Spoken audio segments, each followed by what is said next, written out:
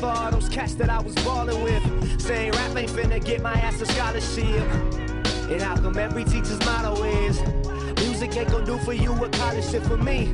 That's the problem, Nancy, baby. I ain't you, I'm me. Tonight I'm gonna party with the people that believe. Here comes Allen again, and he gets to Fitzgerald.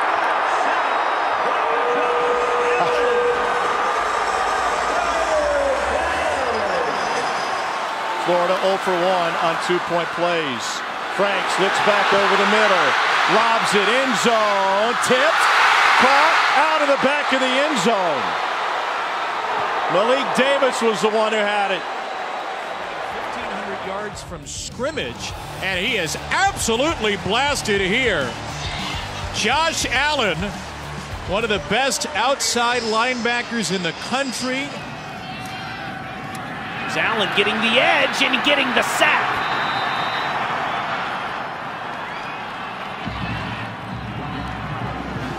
The sideline here. Frank steps up. Hit as he throws. It falls incomplete. And they catch a break. Four seconds left. Mark Stoops is saying it was a fumble. They have not whistled it dead, and they will get it down to the goal line. And now the line judge says touchdown, Kentucky. Unbelievable. Absolutely perfectly clear down here, Beth.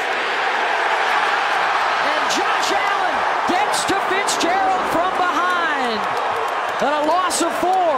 He's showing you the whole repertoire. Pass rush, tackles in the box, and then the speed off the edge.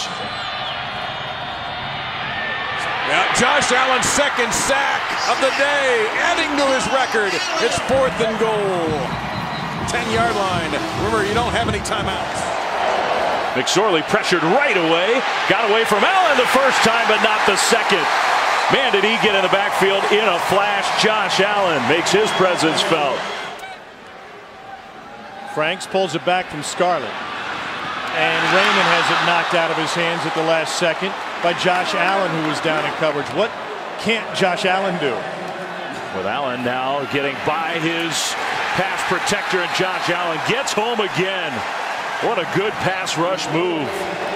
Well, we saw Penn State on the other side run a really nicely timed line stunt. Stockstill under pressure, down he goes! And there's the record sack! Josh Allen not only breaks the record, but the hearts of the Blue Raiders.